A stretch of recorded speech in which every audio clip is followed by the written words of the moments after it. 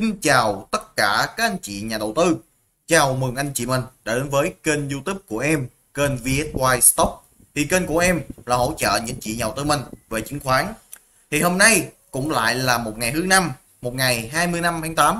Thì em cũng xin phép mình quay trở lại là một buổi video ngắn đem cùng đồng hành và phân tích với những anh chị nhà đầu tư mình về những vận động chung của thị trường ở trong một phiên vận động ngày hôm nay cũng như với các tín hiệu của các dòng cổ phiếu để từ đó, anh chị mình đang cầm nắm cổ phiếu thì mình sẽ đưa ra được một chiến lược đầu tư tốt nhất.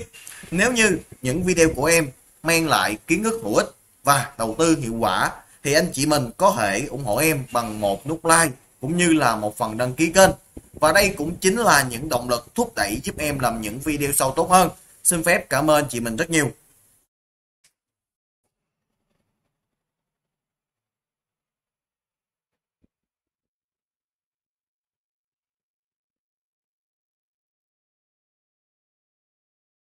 Thì đầu tiên chúng ta sẽ đi phân tích với nhau về một số cái tín hiệu vận động của thị trường chung. Thì anh chị mình cũng có thể thấy hôm nay là một phiên tăng điểm của thị trường. Một phiên tăng đâu đó hơn 11 điểm.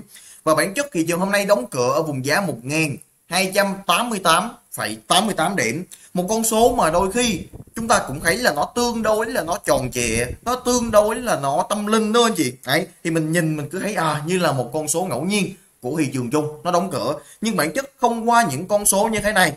Thì mình cũng thấy được bản chất của thị trường chứng khoán. Luôn luôn có một bàn tay của nhà tạo lập. Họ điều tiết những chỉ số chung, họ điều tiết những điểm số chung. Và mình cũng biết được là cái vị trí bản thân của mình đang ở đâu trên thị trường chứng khoán. Tại vì khi mà mình đánh giá về các thành phần tham gia trên thị trường chứng khoán này á chị, đấy, thì có 70% là sự tham gia của các big boy, của các cá mập của những dòng tiền lớn, những dòng tiền không minh. 30% còn lại là sự tham gia của em và anh chị mình là những nhà đầu tư cá nhân. Đấy, cho nên để mà mình đánh giá tốt nhất trên cái thị trường chứng khoán này mà để anh chị mình có được một cái phương pháp để mình đầu tư cho nó hiệu quả ấy, thì thường là mình sẽ có những chiến lược mình đi theo những cái dấu chân của dòng tiền lớn hay là mình đi theo cái dấu chân của 70% cái tỷ trọng vốn lớn của thị trường chứng khoán đó là những cái dòng tiền lớn những dòng tiền của cá mập thì không qua những yếu tố về cung cầu mình sẽ hiểu được những cái hành vi của tổ chức. Họ đang làm gì trong từng phiên giao dịch. Họ đang làm gì ở từng cổ phiếu để từ đó thì anh chị mình sẽ đưa ra được cho mình một cái chiến lược mua hoặc là cái chiến lược bán. Đó là từ đó sẽ sinh ra cái phương pháp về VSA là một phương pháp mà em và anh chị mình đang cùng nhau ngồi lại phân tích ở quãng video ngày hôm nay. Đấy và mình cũng thấy được quan trọng nhất vẫn là yếu tố về cung cầu anh chị. Hay một người mua thì phải có một người bán. Đấy thì mua bán là yếu tố mà mình sẽ thấy được ở, ở những cái yếu tố về volume. Thì đây là những cái phiên khối lượng khớp lệnh mọi người lưu ý nha. Đấy và với thị trường chung khi mình nhìn thấy à bản chất ngày hôm nay, thị trường ở đầu buổi sáng, nó cũng có một tín hiệu mà nó mở tín hiệu về gáp anh chị. Đấy, mình lưu ý là một tín hiệu mà thị trường mở gấp gấp và kéo tăng đóng cửa cao nhất phiên trong ngày hôm nay. Đặc biệt là khi mà mình nhìn trở lại một phiên tăng điểm của thị trường, nhưng mà đi kèm đó là yếu tố về khối lượng nó không phải gọi là quá lớn. Thì với những cái phiên mà mở gấp tăng điểm với khối lượng không phải quá lớn á, thì đánh giá hôm nay không phải là một phiên gọi là hoàn hảo, một phiên tuyệt điểm của thị trường không phải là một phiên 10 điểm, nhưng bản chất nó cũng không phải là một phiên quá xấu hay là quá tiêu cực gì cả hay mà bản chất đây là một phiên mà sẽ tạo những cái tiền đề cho những phiên ngày mai mọi người lưu ý nha Đấy. thì sau những cái phiên mà nó ở cung và nó tạo một tín hiệu khá tốt và đa phần những cổ phiếu dòng vn 30 những cổ phiếu lớn, nó cũng có một cái phiên mà đóng cửa cao nhất phiên á, thì mình lưu ý, nếu như ngày mai thị trường tạo một cái phiên bùng nổ với có lượng lớn đi vào thì đây là một tín hiệu tương đối tốt của thị trường để thị trường bước vào những cái nhịp nước rút. Mọi người lưu ý nha, ngay tại vì đánh giá với chị mình đây vẫn là bản chất những cái con sóng hồi của thị trường chung. Khi cuối nhịp sóng hồi sẽ xuất hiện những quá trình, gọi là quá trình chỉ nước rút để tạo sự hưng phấn sự FOMO cho những nhà đầu tư cá nhân. Mọi người lưu ý hãy còn bản chất hôm nay là một phiên vận động mà cá nhân em mình đánh giá nó vẫn tương đối bình thường đó gì tại vì sao mà em lại nói như thế? Và những cái vùng target mà cá nhân em mình kỳ vọng từ những chân số hồi đi lên đó, là chi ít thị trường sẽ chinh phục về lại được những cái vùng tích lũy biên trên. Thì chi ít thị trường sẽ chinh phục được những vùng 1.300 điểm 1.320 1.330 và những tín hiệu vùng gap trước. Mọi người lưu ý ha. Đấy. thì với cái phiên ngày hôm nay thì chúng đã có những tín hiệu nó cũng sau quá trình nó điều chỉnh đủ bỏ bước thuyết đi lên là khối lượng gấp nè. Thì khối lượng gấp này không phải là một phiên quá xấu cũng không phải là một phiên quá tốt. Thì ở một góc độ không phải là một phiên gọi là gì là quá xấu á thì mình sẽ thấy được là gì? Không có sự đu bám quá nhiều của nhà đầu tư cá nhân trong phiên ngày hôm nay. Mọi người lưu ý á ấy ví dụ một số anh chị mà tham gia ở trong đoạn vừa qua ấy, mà mình bị những yếu tố mà mình đã bán ra cổ phiếu hoặc là mình chốt lại á thì mình cũng chưa dám tham gia trở lại ngay trong những phiên như thế này. Ấy, cho nên sự đu bám sẽ là không cao. Thì ở một góc độ nào đó thì khi mà thị trường tăng giá giảm giá hoặc là đi ngang mà nó với thành khoảng cấp á thì cái độ an toàn sẽ cao. Mọi người lưu ý á, thì độ an toàn của thị trường sẽ là cực kỳ cao. Mọi tại vì khi mà khối lượng thấp thì em đã chia sẻ với chị mình rất kỹ trong những buổi video trước á, thì sẽ không có yếu tố khách hàng của tổ chức. Ngược lại với một cái phiên mà tăng giá nếu như mà nó xuất hiện với volume khối lượng lớn hơn á thì mình lại cảm thấy đây là cái phiên nó tăng giá sẽ càng khỏe hơn. Tại vì sao? Mình thấy à tiếp tục là dòng tiền của tổ chức họ đổ tiền vào đẩy giá thị trường đi lên. Thế là lại càng tin cậy hơn. Cho nên hôm nay đối với cá nhân em, thì mình đánh giá thị trường chỉ đạt ở một cái con số khoảng 7 điểm thôi chị. Đấy, và cái điểm số thị trường chung ngày hôm nay đóng cửa vùng giá 1288.88 cũng là một con số mà rất đẹp. Mọi người lưu ý ha, ở trên cái sự tích cực nhất ở trong những cái kịch bản cho phiên ngày mai thị trường nếu như mà xuất hiện điểm bùng nổ thì nó sẽ rất là tuyệt vời. Mọi người lưu ý ha, điểm bùng nổ dòng tiền lớn đi vào thì sẽ kích hoạt cho một cái nhịp tăng tiếp theo với những cái xu thế vận động của thị trường. Và em đánh giá những cái xu thế mà thị trường đã tạo thành một cái phiên bứt phá thì chắc chắn một điều nó phải có sự đóng góp của những dòng cổ phiếu lớn. Và sau một cái phiên ngày hôm nay thì em thấy được cái sự tích cực nó đến từ nhóm cổ phiếu của dòng ngân hàng. Thì một chút nữa, em và anh chị mình cũng sẽ cùng nhau đi đánh giá qua dòng ngân hàng. Mà thị trường nếu như xuất hiện điểm bùng nổ thì đây chính là cái dòng nó sẽ tạo một cái tín hiệu dẫn dắt điểm số chung là cực kỳ cao. Mọi người lưu ý nha. Đó cũng như mình thấy hôm nay mặc dù thị trường cái điểm số chung là tăng đâu đấy khoảng 11 điểm. Nhưng đa phần anh chị đa phần nó đóng góp đến từ cái nhóm cổ phiếu dòng trụ là khá nhiều. Nhóm cổ phiếu của dòng họ nhà viên mua lấy một số cổ phiếu như Vinhome nè một số cổ phiếu như Vic nè một số cổ phiếu như VGE nè một số cổ phiếu như RVR thì nó đã chiếm một cái tỷ trọng vốn khá là lớn trong tổng thể cái điểm số thị trường tăng 11 điểm trong cái phiên vận động ngày hôm nay. Ai mọi người lưu ý. Và mình thấy là trong phiên giao dịch ngày hôm nay ví dụ như đầu buổi sáng thì mình thấy thị trường nó sử dụng dòng cổ phiếu của dòng chứng khoán nó tạo một số cái điểm tăng giá. Đấy, mà buổi chiều thì mình thấy lại xuất hiện đến sự lan tỏa đến dòng cổ phiếu của dòng thép và một số mà cổ phiếu của dòng ngân hàng đó và bản chất không có dòng nào nó tạo những điểm nhấn để nó dẫn dắt thị trường cả. Đa phần nó kéo tương đối nhẹ nhàng rồi nó hạ nhiệt trở lại trong phiên đó là mình thấy rất rõ với dòng cổ phiếu dòng chứng khoán hoặc là một số dòng cổ phiếu dòng thép nó cũng chưa đầy đủ cái sự quyết liệt chưa đầy đủ yếu tố dòng tiền họ tham gia và họ để họ đẩy giá một cái nhịp mới. Và đâu đó mình thấy trong cái phiên giao dịch của ATC đi đó, thì mình thấy nhóm ngân hàng đã được kéo trở lại về trong cái phiên giao dịch của ATC dùng một số cổ phiếu như STB nè kéo cho ATC thì vùng giá cao nhất phiên nó tạo một cái điểm đỡ cung khá là đẹp trong cái phiên ngày hôm nay, một số cổ phiếu như MB cũng tương tự như thế anh chị.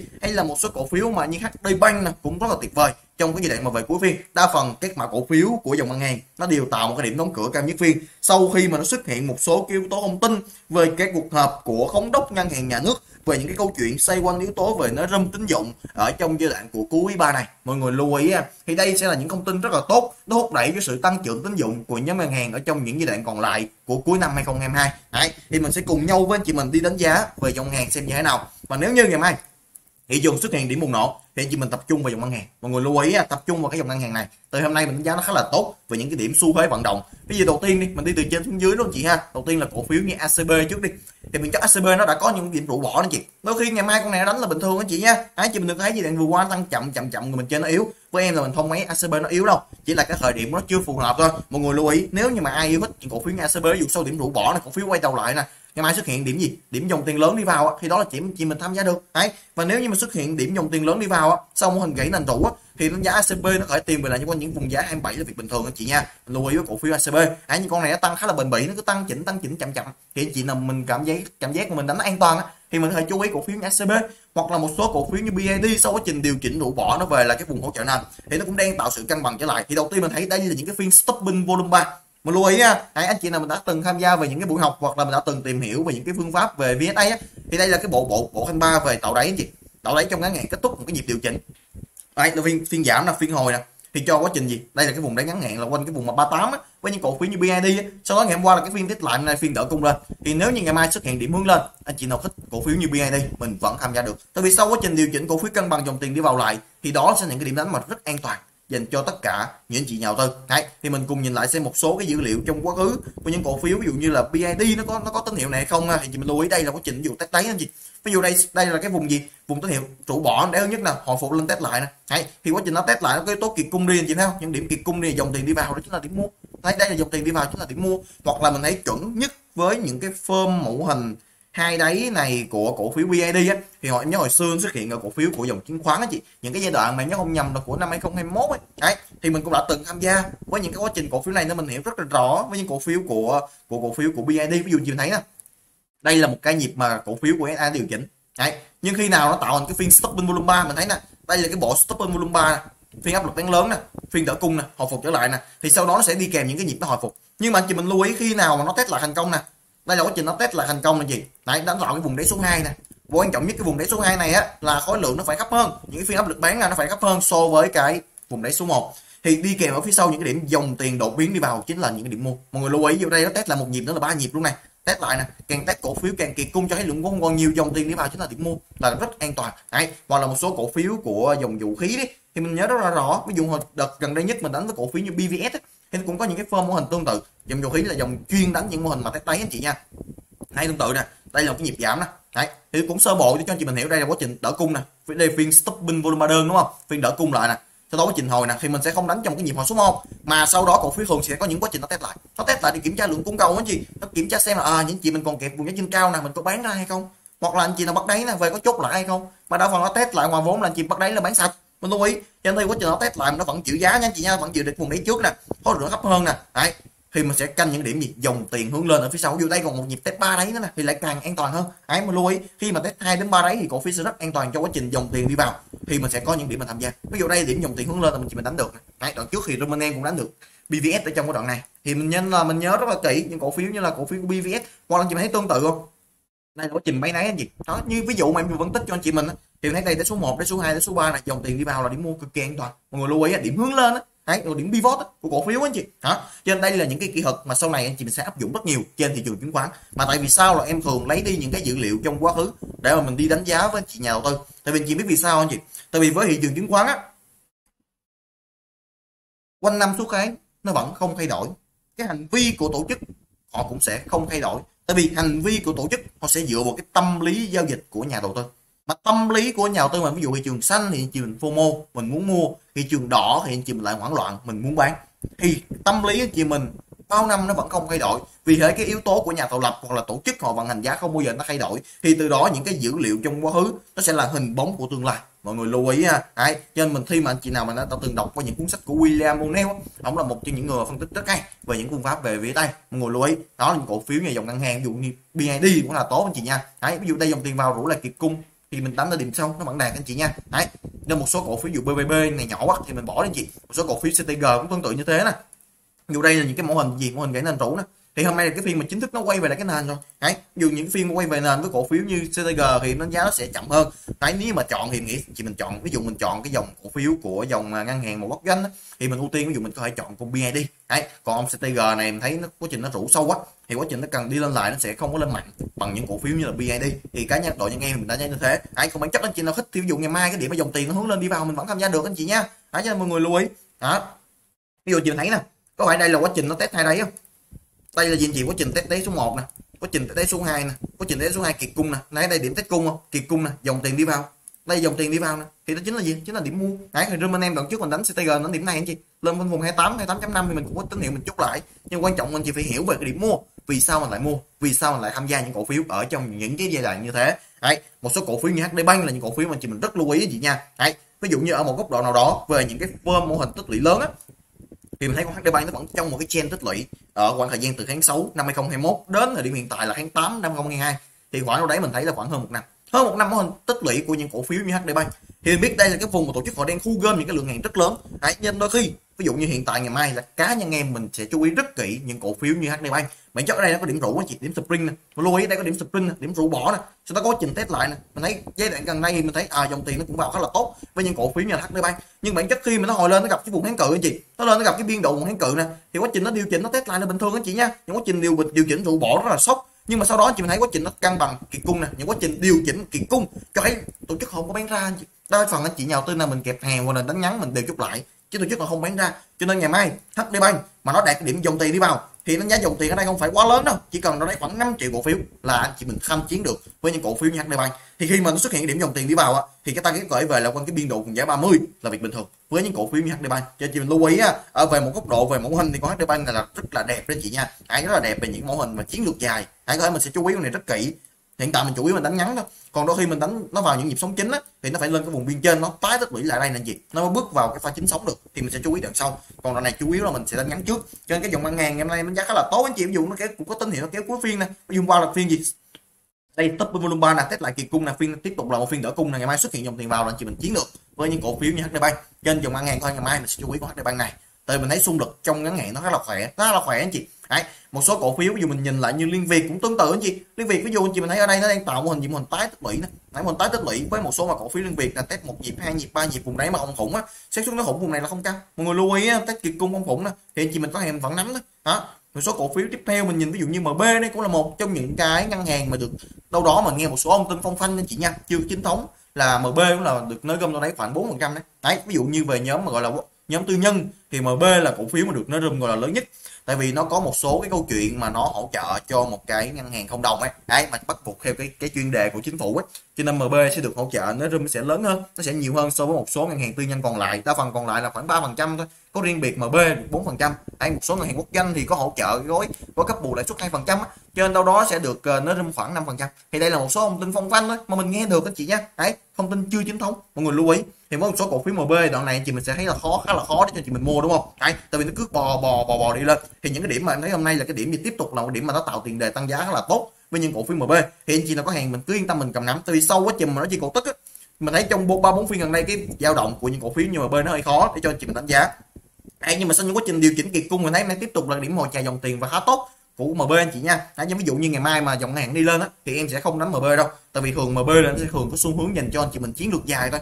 Dù hôm trước anh chị nào trong room bán hàng bên em á một số cổ phiếu như MB á thì mình trước cái ngày chia mình cũng đánh giá với chị rất là kỹ. Ví dụ em đánh giá à trong cái ngày bao nhiêu ta? Vào lúc khoảng 9 giờ ngày 17 tháng 8 á thì em cũng đánh giá với chị mình là MBB đoạn trước nè nhà đầu tư mình có ai kẹp lại ở vùng giá trước á, thì mình sẽ canh mình chung vùng giá hiện tại được. Vùng giá trước khi chia là 27.6 anh chị. Đấy, thì mình tận dụng một cái nhịp hồi thêm cả nhà nhé. Còn mua mới mình sẽ không ưu tiên, tại vì cái ngày chia khoảng, cái quyền chia của tức 20 phần trăm của cổ phiếu như MB anh chị. Đấy, thì từ những cái điểm mua này mình thấy bắt đầu nó cũng xuất phát nó vượt đỉnh nè. Đây cái điểm chưa vượt đỉnh này thì mình cùng nhìn lại với những cổ phiếu MB nó chỉ quanh quanh cái vùng giá đây anh chị. Quanh quanh trước khi chia hiện tại là quanh quanh vùng giá khoảng quanh vùng mà 22 chấm ít thôi. Đấy là những mức giá của cổ phiếu như là MB thì chị mình ưu tiên mình đánh chiến lược dài thì mình đánh MB sẽ khỏe hơn. Tại vì những cổ phiếu này nó đi bền bỉ. Mọi người lưu ý ha. Trên một số cổ phiếu MB mình thấy vì xung lực và xu thế trong ngắn hạn đang khá là khỏe trong cái dòng cổ phiếu của dòng ngân hàng. Đấy, cho mình lưu ý. Ngày mai có thể đâu này con này nó sẽ tạo tín hiệu khá là tốt đấy. Nhưng mà bản chất thường nó sẽ không phải là cổ phiếu mà nó sẽ tối ưu hóa cái lợi nhuận trong ngắn hạn. Để cho anh chị mình đánh tay cộng mọi người lưu ý ha. MB mà em nói anh chị mình bắt nó tăng một phiên trần là hơi khó đấy. Nhưng mà anh chị mình đánh bền bỉ với những cái chiến lược dài khi mình nắm MB là gì chị à thì nó khỏe hơn, tại vì nó đi đường dài sẽ tốt hơn. Mọi người lưu ý với những cổ phiếu như MB Bank. Cho một số anh chị nào trong room hôm trước mà mình có kẹp lại, mình chung mình giá được với cổ phiếu MB mình chờ thêm một cái nhịp mới. Thì em kỳ vọng đoạn này target nó phải về là quanh, chắc ngắn hạn sẽ về là quanh vùng 25 đi chị ha. Ai ngắn hạn trước tiên là tìm kiếm về quanh vùng 25 trước đi, thì mình sẽ đánh giá tiếp. Hay một số cổ phiếu tiếp theo, ví dụ mình cũng nhìn lại với chị nhà tư mình, ví dụ như MSB đấy, cũng tương tự anh chị. Nhưng cổ phiếu này chị thấy rượu bỏ, không có volume là đỡ giá kiệt cung này thì mình cứ cứ nắm về những vùng biên trên chị nhau. Thì mình đánh giá con này sẽ sớm tìm về lại quanh vùng target quanh vùng 20 20 20.5 mọi người lưu ý ha. Hãy là những vùng target với một số cổ phiếu như là MSB một số cổ phiếu như OCB cũng tương tự. Đây OCB nó vào mô hình gì chị tương tự, đúng không? Đó trên đoạn này nó chỉ mình á, mình cứ nhìn vào con Vinamilk. Nó sẽ là gì? Kim chỉ nam. Nó sẽ là cái cái mẫu hình tương xứng dành cho cái cổ phiếu khác noi theo ví dụ thấy đây là cái điểm trụ bỏ của cổ phiếu như Vinamilk nè. Thì mình nhìn là cái ông OCB này, mình thấy tương tự. Đây cái điểm trụ bỏ của OCB nè phiên hôm sau mình thấy phiên đỡ cung này, stop bên volume 3 này phiên kiệt cung này, dòng tiền đi vào này, đấy mình thấy một số cổ phiếu như Vinamilk cũng tương tự mình thấy á phiên đỡ cung này, phiên test lại này, phiên kiệt cung này, phiên kiệt cung này, phiên dòng tiền đi vào đấy thì mình tương tự với OCB mình lưu ý á cho những cổ phiếu như OCB ví dụ ngày mai mà xác nhận thêm điểm dòng tiền lớn nữa thì anh chị mình lại càng yên tâm mình nắm chặt những cổ phiếu này về cái biên độ quanh vùng giá 20.5 anh chị nha. Thì đây là một hình kỹ nền tảng. Vinamilk là một trong những cổ phiếu tâm điểm. Cho nên một số anh chị nào đã nắm được những cổ phiếu như Vinamilk thì mình phải nắm thật chặt tại vì đây là con leader cho siêu mẫu hình gãy nền tủ hiện tại trên cái xu hướng vận động của thị trường chung thì em đánh giá một số cái xung lực tăng khá là khỏe trong những phiên vừa qua. Chị thấy hôm nay cũng là phiên gì? Phiên nó cũng đỡ cung lại nè. Không có còn áp lực bán gì đó anh chị ơi. Cho nên thường mình đánh giá con này có thể sẽ vượt luôn cái vùng 80 đây. Mọi người lưu ý ha, với con cổ phiếu như Vinamilk. Mà nếu như mà ngày mai nhìn chung có điểm bùng nổ lại thì vì không thể nào mà anh đánh giá thiếu mặt Vinamilk được đâu. Tại vì trong ngắn hạn đây là một những cổ phiếu có xung lực tăng nó rất mạnh. Mọi người lưu ý, hãy coi là cổ phiếu hàng đầu của thị trường lúc này. Một số cổ phiếu tiếp theo thì mình cũng đi đánh giá lại với chị mình về cổ phiếu như là SHB đấy ví dụ thấy SHB nè tạo điểm nổ nè điểm vòng cung anh chị. Nó đang tạo cái vòng cung khá là đẹp nha với những cổ phiếu như SHB đấy cho nên chị nào quan tâm thì mình hãy canh những điểm đánh ngắn. Với cổ phiếu SHB nó vẫn tương đối gọi là, là phù hợp anh chị. Hay khá là đẹp đấy. Với cổ phiếu SHB bùng nổ nè kiệt cung nè cho thấy cái gì? Những phiên bùng nổ dòng tiền tổ chức họ đổ tiền vào đẩy giá họ không có hết ra cho những phiên kiệt cung như thế này. Hãy chờ mình chờ cái điểm đánh tiếp đó đấy một số cổ phiếu STB cũng tương đồng anh chị nha. STB nó vào những mô hình gì kỹ nền trụ đó. Đó nhưng mà ở đây mình chờ đi mình chờ dòng tiền đi vào đi. Làm hướng dẫn chị mình đánh dù ngày mai dòng tiền đi vào thì chị vẫn đánh được với những cổ phiếu như là STB mọi người lưu ý á à, cho ngày mai đôi khi anh chị mình đánh hai mã thôi. Dù đánh ngắn mình chọn những cổ phiếu nào mà nó mang cái độ mà nó chạy chạy chạy ngắn hạn nó khỏe nó chạy nhanh á. Dù hiện đánh giá chị mình phải HD Bank nè ngày đánh cũng khá là nột. Mọi người lưu ý đánh khá là mượt đấy một số còn là một số cổ phiếu như STB đó đó có BID nó cũng tăng nhanh. Mọi người lưu ý mình chú ý những cổ phiếu như thế này một số cổ phiếu như MB thì thường anh chị mình đánh chiến lược dài, hoặc là một số cổ phiếu như Techcom khá là tốt, vẫn đang tạo quá trình sideways tái tích lũy đó. Thì khi mà dòng ngân hàng đi lên thì không bao giờ mà thiếu mặt được những cổ phiếu như là hàng đầu như là Techcombank mọi người lưu ý nha ấy, đâu đó một số cổ phiếu như Tiên Phong đi. Tiên Phong nó cũng tạo điểm mô hình gãy nó rủ anh chị. Ví dụ đây cái cân bằng nè, nó rủ bỏ nè lên trở lại nè. Ấy, thì những cổ phiếu ngân hàng đa phần đều quay về lại cái vùng nền. Thì đây là một trong những tín hiệu rất tốt của dòng cổ phiếu của dòng ngân hàng. Mọi người lưu ý ha. Đấy và một số cổ phiếu như Vietcom, đúng không? Nãy đây là nguyên cái giai đoạn mà nó cũng tạo dòng tiền khá là tốt cho nó tái tái tích lũy lại ở một cái nền giá quanh những vùng 82 thì với những quá trình tái tích lũy này cũng đang tạo một, cho một cái xu thế, cho một cái nhịp tăng tiếp theo. Ví dụ đây em đánh giá nhịp tăng số 1 này thì tái tích lũy lại sẵn sàng cho một nhịp tăng số 2 với những cổ phiếu như Vietcombank. Đấy, một số cổ phiếu như VIB cũng tương đồng chị ơi. Nãy dòng ngân hàng đa phần nó vào mô hình gãy nền trụ rất là đẹp tương tự với Vinamilk thì nó chỉ mình cứ nhìn con Vinamilk mà làm kim chỉ nam cho cái cổ phiếu của dòng gãy nền rũ, có nền tích lũy gãy rũ, quay về trở lại về cái nền về vùng nền. Mình lưu ý ha ví dụ hôm nay chị nào muốn mua con VIP nó vẫn được, tại vì hôm nay cái điểm số điểm kiệt cung dòng tiền đi vào nè, hoặc là nó sẽ còn những điểm dòng tiền ngày mai, thì chị vẫn canh được với những cổ phiếu như VIP đấy, một số cổ phiếu ví dụ như VB Bank cũng tương tự như thế anh chị ơi, nhưng VB Bank dù sao nó đi trước anh chị, điểm dòng tiền đi trước nè. Sau khi mà xuất hiện cái thông tin về cái việc mà nó sẽ sẽ tăng vốn anh chị ha, chị cổ tức khoảng năm đó em nhớ không nhầm khoảng 50 phần trăm ấy. Đấy nhưng một số cổ phiếu VB anh chị mình có hàng mình nắm thôi. Còn ví dụ ngày mai mà thị trường đi lên thì em sẽ không hướng dẫn anh chị mình tham gia được VB tại vì nó không có điểm mua. Nó qua rồi, anh chị ơi. Đấy, cho nên chị mình chú ý một số mà cổ phiếu còn lại trong cái buổi video ngày hôm nay. Em đề cập đến dòng cổ phiếu ngân hàng để cho anh chị mình tập trung mình chú ý chị ha. Hay một số cổ phiếu hàng đầu ví dụ như đánh giá ví dụ như BID nè ví dụ như STP nè ví dụ như là HD Bank thì đó những cổ phiếu anh chị mình ưu tiên. Còn những cổ phiếu chúng ta vào phân mô hình gọi là gãy nền trụ khá là đẹp luôn á nó quay về cái vùng nền ví dụ như VIP này cũng khá là nhạt đẹp anh chị. Con này nó đầu cơ cũng ghê anh chị nha. Con này đánh cũng khá là là mượt đấy cho nên chị mình phải chú ý được với những cổ phiếu như VIP ấy, thì đó là bản chất của dòng cổ phiếu của dòng ngân hàng. Đấy thì mình sẽ đánh giá khá là tốt cho một cái phiên vận động ngày hôm nay cho nên có thể ngày mai. Thì anh chị mình chờ cái luồng gì chị? Cái luồng gió đông nó thổi thôi thì đó sẽ là cái điểm chạy của dòng cổ phiếu, của dòng ngân hàng. Đấy, tại vì nó cũng đã tái tích lũy là một đoạn khá là lâu rồi. Thì bây giờ em nghĩ là khi mà mình phân tích về cổ phiếu của dòng ngân hàng là đa phần sẽ gặp những ý kiến trái chiều. Nhiều anh chị mình nói à đây là cái dòng nó chậm, đây là cái dòng nó yếu. Nhưng bản chất đây là cái dòng xương sống của thị trường chung anh chị. Thị trường muốn đi lên và nên test muốn vượt được cái vùng ngàn ba thì không thể nào thiếu mặt được dòng cổ phiếu của dòng ngân hàng. Đấy, cho nên buổi video ngày hôm nay mình phân tích nó sâu hơn một tí về cách mà cổ phiếu của dòng ngân hàng để cho anh chị nào đang quan tâm hoặc là mình đang cầm nắm thì mình sẽ đưa ra được một chiến lược đầu tư tốt nhất. Đó tiếp theo là mình đánh giá với chị mình về dòng trụ. Vì hôm nay là dòng trụ cũng khá là khỏe anh chị nha. Đấy thì dòng trụ một số cổ phiếu ví dụ như VRE dòng họ nhà Vin anh chị hôm nay là cái cổ phiếu nó kéo kéo giá khá là tốt. Ví dụ như cổ phiếu như như Vinhome thấy đây quá trình test đấy nè, test về một hỗ trợ này bật trở lại ngay test lại kỳ cung bật trở lại nè. Thì ngắn hạn anh chị mình ai mà đang nắm á thì mà hãy cầm về là cái vùng biên quanh vùng 63 đấy, trước tiên là cái vùng 63 chị nha. Còn với em mình không đánh như mã này đâu. Đấy, ví dụ dòng trụ huyện mua tiên chọn Vinamilk chứ mình không đánh Vinhome hoặc là một số cổ phiếu như VRE cũng đẹp anh chị. Vô đây thì cũng hoàn gì? Cái nền rủ anh chị dù cái nền là gãy rủ xuống cái nền dưới đó, thì nó đang cân bằng kiệt cung trở lại nè. Đấy, cho nên chị nào mình thích con VRE này á, thì chị mình phải đánh được. Ngày mai hướng lên đánh được. Lưu ý ha, một số cổ phiếu ví dụ như là như là cổ phiếu như Vinamilk đi, thì nó vẫn đẹp thôi. Nó vẫn là những cổ phiếu nó tạo tín hiệu đi trước cho cái nhóm cổ phiếu của Vin30 đấy, thì chị mình cứ hàng, mình có hàng, mình cứ yên tâm, mình cầm nắm trở lại với những cổ phiếu như là Vinamilk khi mà chị mình thấy dòng tiền tổ chức họ vào một cái nhịp lớn như thế này á, thì chắc chắn với chị một điều là không thể nào nó ra ngay được trong một hai phiên đâu. Hôm nay là cái phiên vận động với khối lượng thấp như thế này, tổ chức đâu mà bán anh chị? Đấy, mình lưu ý ha. Đó một số cổ phiếu, trụ dòng bán lẻ, ví dụ mình nhìn một cổ phiếu mập lưu g đi, nó cũng bò bò bò bò, lên thế là tốt, đúng không? Nhưng mà thường mà điểm mua cũng hơi khó hơi khó cho anh chị mình ha. Thì cái vùng kháng cự của cổ phiếu như mập lưu g là quanh cái biên độ quanh vùng giá 72 73 với những cổ phiếu như mập lưu g.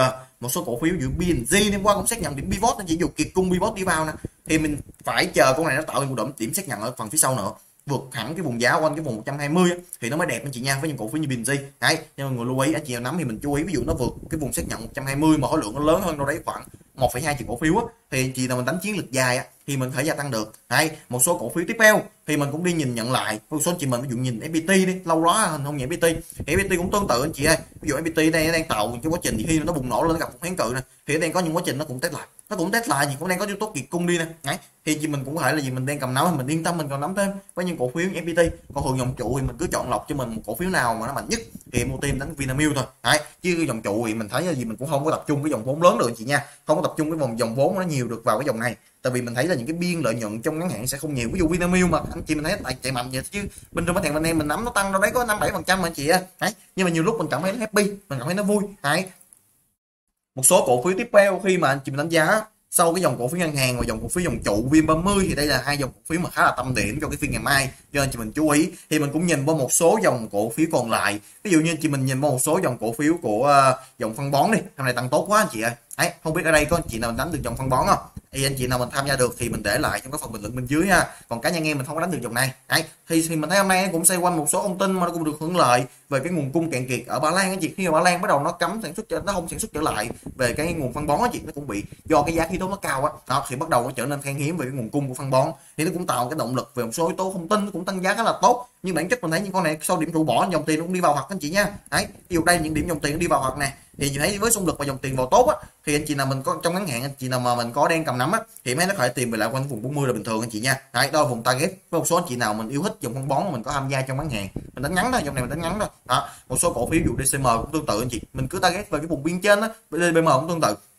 Ông DBM này vùng biên trên nó hơi xa cho nên có thể mình target về trước tiên là quanh cái vùng biên, quanh cái vùng nào anh chị, quanh cái vùng 55 người lưu ý ha với những cổ phiếu như là DBM hay một số cổ phiếu như BFC nó cũng lên gì nhưng mà thường thì em không có chọn lọc, mình ưu tiên cái dòng phân bón ở trong một cái sóng hồi phục vừa qua. Cho nên mình cũng đã bỏ lỡ trong những cái phim mà nó bùng nổ như ngày hôm nay. Thì anh chị mình cũng gọi là gì? Mình cũng không cảm với em. Tại vì sao anh chị? Tại vì không ai ăn hết từ thị trường đâu. Mình không thể nào mình nắm được tất cả các mã cổ phiếu trên thị trường. Đấy, cho nên mỗi người một phần. Thị trường chứng khoán mà, mình cảm thấy hài lòng với những cái phần lợi nhuận, hoặc là những cái cổ phiếu mà đang tăng giá mà mang lại cái tài sản tốt cho anh chị mình đó là mình cảm thấy vui anh chị. Đấy, ví dụ như anh chị nào tham gia được phân bón thì mỗi người một phần. Thì mình chúc mừng những chị nào tham gia được dòng này thôi. Mọi người lưu ý ha một số mà cổ phiếu dòng thép hôm nay cũng tạo được sự tăng giá. Nhưng bản chất em đánh giá hôm nay không phải là điểm mua của dòng cổ phiếu dòng thép. Tại vì thứ nhất là mình thấy à xung lực tăng nó chưa quyết liệt. Thứ hai là mình cảm nhận ở một góc độ nào đó nha, là cái sự đu bám ở dòng này nó tương đối cao. Ví dụ hôm nay mà mình chỉ cần nó đỡ cung đi, nó cái cung thì sẽ khá là đẹp. Mà em thấy nó nổi, ngày hôm nay nó hơi vội. Nó nổi hơi vội, có thể gọi là một cái điểm mà nó sẽ phù hợp hơn với những anh chị nhà đầu tư nào mình đang có hàng sẵn còn cá nhân em mình cũng rất là quan tâm mình rất là thích cái dòng cổ phiếu dòng thép để mình chờ những điểm mua mới á.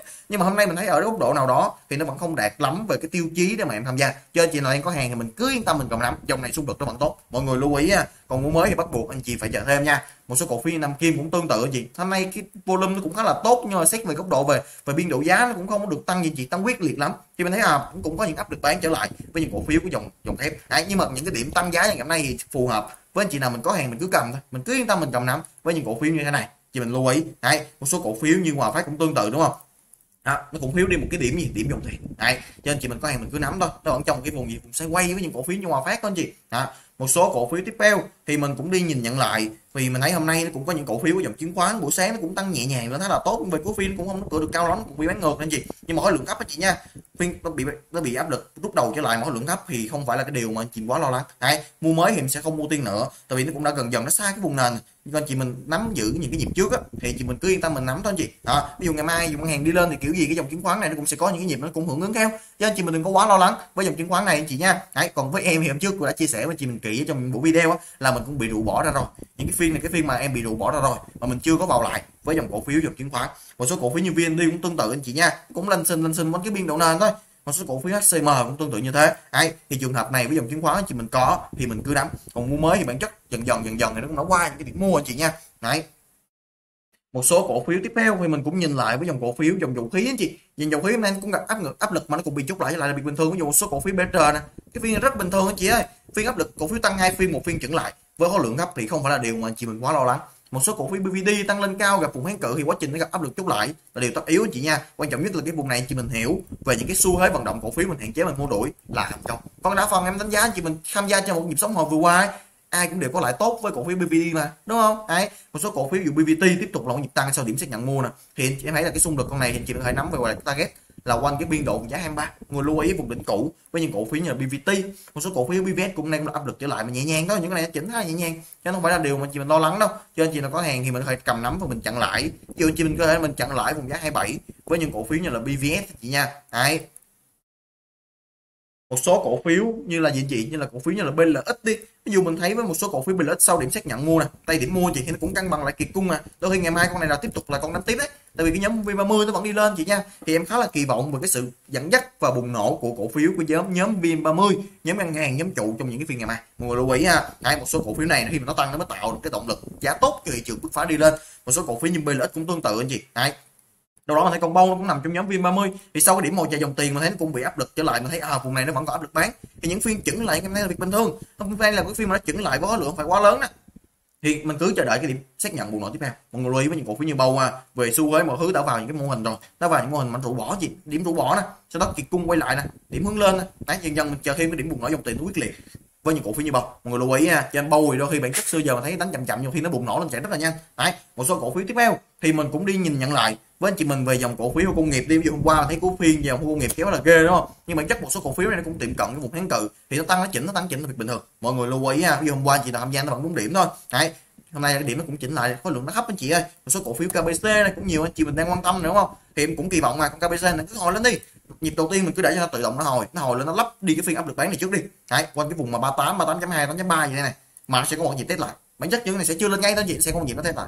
Test lại thành công, mình sẽ đánh nó nhịp sau. Mọi người lưu ý cho mình đầu tư mà có gì đâu mà vội vàng cổ phiếu nó vẫn còn đó. Đấy, về dòng khu công nghiệp này thì buổi ngày hôm qua trong cái buổi đào tạo á, thì em đã chia sẻ phân tích với anh chị mình rất kỹ về mọi thứ, về hướng dẫn, về cách chờ đợi và cách chọn lọc, điểm mua, thời điểm mua cũng như cách đi vốn là yếu tố cực kỳ quan trọng. Mọi người lưu ý, anh chị nào tham gia vào cái khóa học ngày hôm qua rồi thì mình thử mình về, mình xem lại cái buổi video đó. Mình xem đi xem lại nhiều lần để mình áp dụng cho nó chính xác nhất cho những cái chu kỳ tiếp theo. Dòng khu nghiệp là cái dòng mình sẽ tập trung cho một cái chu kỳ sau, chu kỳ tới chứ chưa phải hiện tại. Mọi lưu ý đoạn này có mua thì em cũng đánh ngắn thôi chứ mình sẽ không nắm dài với dòng cổ phiếu của ờ, dòng khu công nghiệp. Một số cổ phiếu ESC cũng tương tự như thế chị ha. Đấy, nó cũng nổ lên gần cái vùng kháng cự quá thì quá trình nó hạ nhiệt trở lại là việc bình thường. Đấy, thì đó là bản chất mình đi đề cập với nhau về cái xu thế vận động của các dòng cổ phiếu trong một số cái phiên vận động ngày hôm nay. Đấy, ngoài ra mình thấy một số cổ phiếu nó đi vào cái form của hình kỹ nền chủ hôm nay cũng xác định xác nhận dòng tiền nè. Nó nằm ở một số mà cổ phiếu riêng lẻ ví dụ mấy như RBR đi chị ơi. Ví dụ chị thấy RBR nè đây là mô hình kỹ nền chủ nè tương tự không kỹ nền nè, kiệt cung nè, đi vào nè, dòng tiền đi vào nè. Đấy, nay dòng tiền đi vào nè. Lấy tương tự với anh chị Vinamilk ấy. Cho nên nói chuyện Vinamilk là cái gì? Là cái kim chỉ nam của nhiều cổ phiếu gãy nền rũ. Dù kiệt cung dòng tiền đi vào để mua, hoặc là một số cổ phiếu như C4G đi, thì anh chị mình cũng thấy rất rõ ràng. Dù thấy đây là cái mô hình C4G nè, là mô hình tích lũy, rũ bỏ kiệt cung, dòng tiền đi vào chính là những điểm mua cực kỳ an toàn cho anh chị mình. Mình lưu ý ha. Đấy, ví dụ đây là cái điểm đánh giá rất là tốt với những cổ phiếu như C4G thì anh chị mà tham gia, mình thể mình kỳ vọng vào những cái biên độ trên. Biên độ đâu đó là quanh cái vùng giá và vùng 15 15 chấm ít với những cổ phiếu như C4G mọi người lưu ý ha. Nãy là điểm dòng tiền khá tốt với những cổ phiếu này đấy. Và cái phiên dòng tiền đi vào thì đó là trong một cái buổi video ngày hôm nay hoặc là một số cổ phiếu mà VGI nó cũng đẹp anh chị ơi. Sao điểm rủ bỏ trở lại nè? Dù nay điểm mà nó cũng không quyết liệt lắm thì mình nghĩ con VGI này khả năng nó tiếp tục nó sẽ quay thêm đấy. Nó sẽ quay thêm sẽ rất là đẹp anh chị nha. Với những cổ phiếu như là là VGI ngày hôm nay nó cũng tạo được cái điểm xung lực về dòng tiền. Nhưng mà khả năng nó chưa quyết liệt về cái biên độ giá ấy, thì nó phải cần quá trình nó cân bằng thêm. Với những cổ phiếu như là là VGI đấy thì đó là trong cái buổi video ngày hôm nay. Thì em cũng sẽ đề cập với chị mình nó chuyên sâu hơn. Trọng tâm là em đi phân tích với anh chị mình về dòng cổ phiếu của nhóm uh, V30 nhóm dòng ngân hàng nhóm dòng trụ để cho anh chị mình tập trung vào sự kỳ vọng của em và những phiên kịch bản ngày mai là nếu như thị trường tốt nhất là nên xuất hiện cái điểm bùng nổ để nó kích hoạt một cái đà chạy nước rút ở trong những phiên phía sau ở trong một cái nhịp cuối sóng nồi mọi người lưu ý đấy thì mình cứ chờ đợi những kịch bản tích cực nhất của thị trường. Ví dụ như em là những người mình thường kịch bản mình sẽ đưa ra những cái suy nghĩ về sự tích cực. Thì mình cứ kỳ vọng thị trường xuất hiện một điểm bùng nổ lên, thì sẽ rất đẹp. Mọi người lưu ý và sự bùng nổ này sẽ thường mang yếu tố dẫn dắt của những nhóm cổ phiếu lớn. Thì ở đây mình sẽ ưu tiên với chị mình là giờ dòng cổ phiếu của dòng ngân hàng, dòng cổ phiếu của nhóm Vin30 là những điểm mà chị tập trung trong một cái phiên ngày mai. Mọi người lưu ý ha. Đấy, thì đó là trong cái buổi video ngày hôm nay. Thì một số anh chị nào mình quan tâm về room hệ thống khách hàng bên em đi hoặc là một số cái quan điểm mà đầu tư của em á à, nó phù hợp với tiêu chí của chị mình á thì mình có thể liên hệ với bạn ấy anh. Bạn ấy sẽ hỗ trợ anh chị mình về room khách hàng thì phiên ngày mai mình sẽ cập nhật chuyên sâu hơn với anh chị mình tại hệ thống khách hàng vip về những cái cổ phiếu mà anh chị mình tham gia được về những điểm mua điểm bán. Mình sẽ quan sát rất kỹ yếu tố dòng tiền trong phiên. Đấy một số anh chị nào muốn tham gia vào room cộng đồng thì đây vẫn là những cái room cộng đồng. Mình vẫn hỗ trợ và đồng hành với chị mình xuyên suốt trong những khoảng thời gian vừa qua. Thì anh chị mình phải quét cái mã QR anh chị. Đấy hôm qua mình chị học một quên tắt này thì chị mình phải quét cái mã QR ở đây nè, để chị mình vào. Đấy còn không tin Zalo mà không tin liên hệ thì chị mình phải liên hệ ở dưới. Đấy, thì buổi video ngày hôm nay thì cũng đến đây thôi. Thì cũng xin phép hẹn gặp lại tất cả những chị giàu tư mình trong buổi video cuối tuần. Hãy chúc anh chị mình buổi tối vui vẻ, bên người thân và gia đình. Xin chào cả nhà.